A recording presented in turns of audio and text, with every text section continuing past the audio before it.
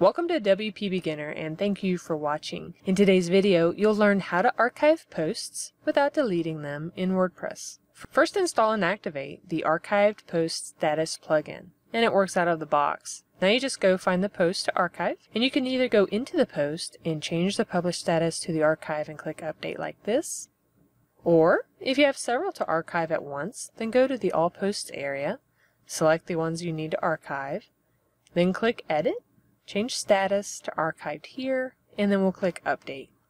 Now all those posts that I've archived won't show on the front end of my site, but I can still access them from the admin area if I need to. I hope you liked this video and found it helpful.